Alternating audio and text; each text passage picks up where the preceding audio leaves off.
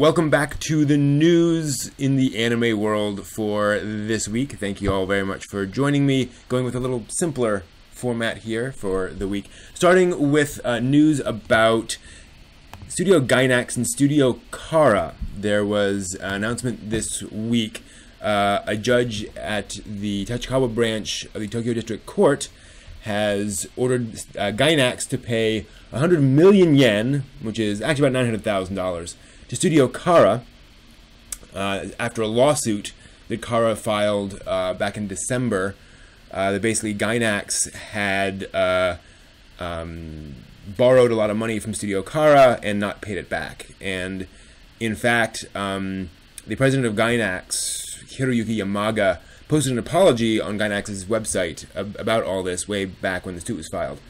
So uh, they like they know it's been there, but it apparently like went all the way to litigation before they actually paid, which is a pretty sad thing. Um, so yeah, that's that's that's pretty bad. Um, uh, Yamaga and Anno, uh, who founded Studio Khara, and others were all um, uh, friends together back in college, and they co-founded Gainax in '85.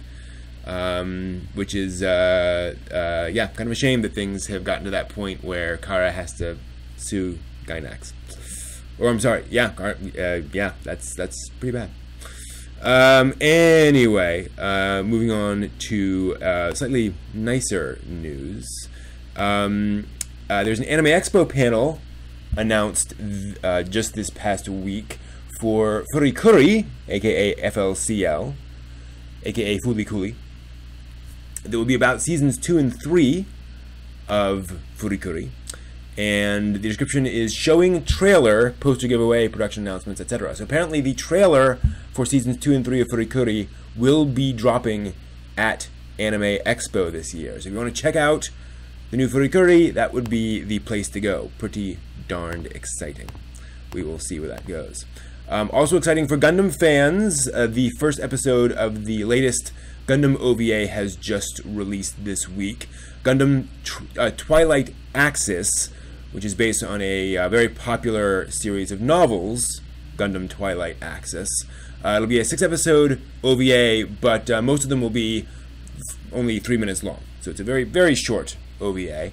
Um, uh, probably actually an ONA. I think it'll be, be released mainly online.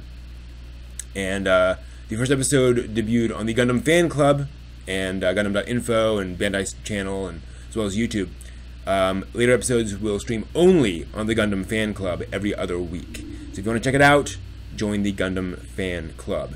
It is set in uh, 0096 of the Universal Century, um, centering on concerns about the Psycho Frame development uh, and dealing with um, uh, the asteroid Axis, which is a fairly significant uh, thing in, uh, in Gundam lore. So we'll see where that goes in terms of uh, storyline. But that's that's pretty exciting to see new Gundam out there.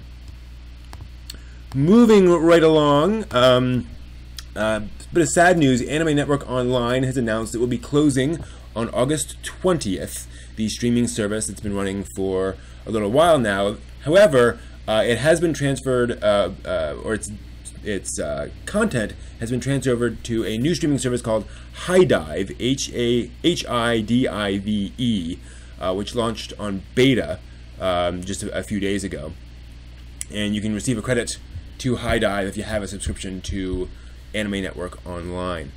Um, HIDIVE does offer uh, ad-supported, free, you know, uh, uh, showings of anime, subbed only.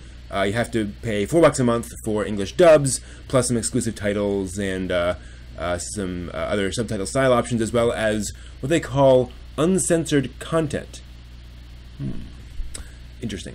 Uh, so who knows where that's going to go? But uh, yeah, so unfortunately, ANO is shutting down, but the content is will be available over at HIDIVE. Finally, our news of the weird: a Saitama man um, has been arrested on charges of obscenity.